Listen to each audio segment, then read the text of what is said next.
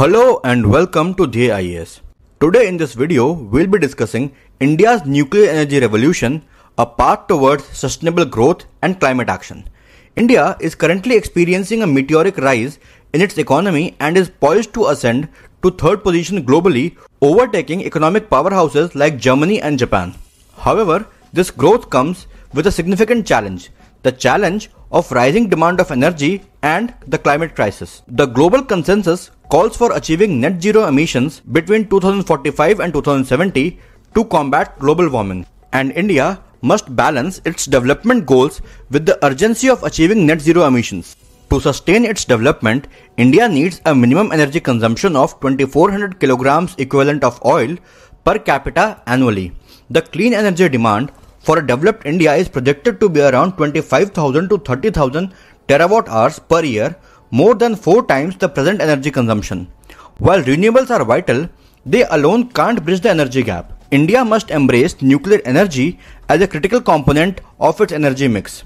And in this context, the strategy for India comprises of six pivotal elements, each playing a specific role in India's quest for sustainable growth and environmental stewardship. Firstly, the indigenous 700 megawatt of PHWRs for baseload capacity play a central role in this strategy.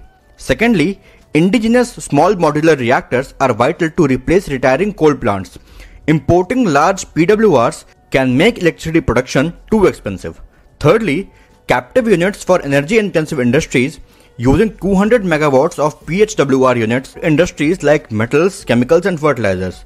The Advanced Heavy Water Reactor 300 developed by the BARC could also play a pivotal role in this context. Fourthly, high temperature reactors for hydrogen production that can directly produce hydrogen without relying on electrolysis are essential for cost effective green hydrogen. Fifth, harnessing thorium energy potential can enhance India's energy security. India only possesses 2% of world's uranium reserves but is home to 25% of world's thorium reserves. And last, international cooperation is crucial for addressing climate change on a global scale. Moreover, the utilization of thorium high assay low enriched uranium fuel can further enhance these reactors' attractiveness in terms of economics, safety, and waste management. However, there are challenges to adopting nuclear energy.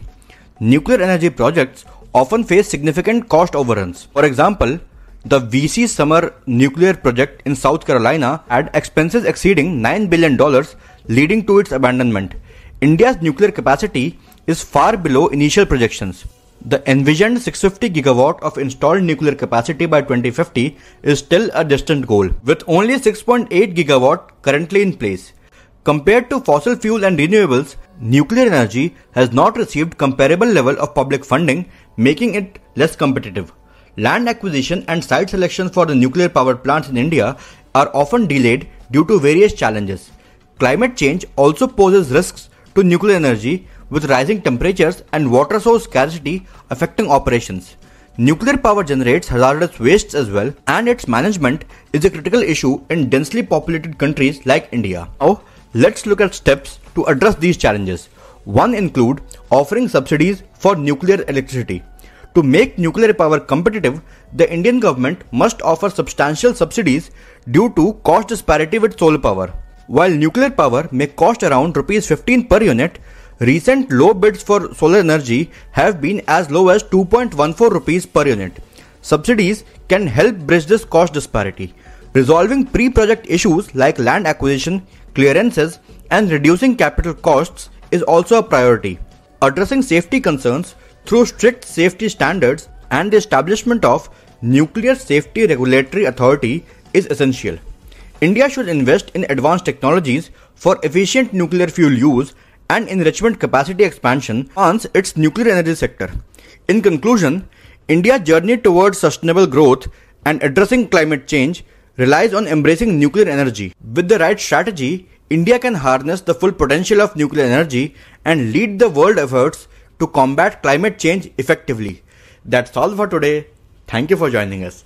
If you found this video insightful, do not forget to like, share and subscribe for more such informative content. We'll see you next time. Till then, stay informed, stay curious.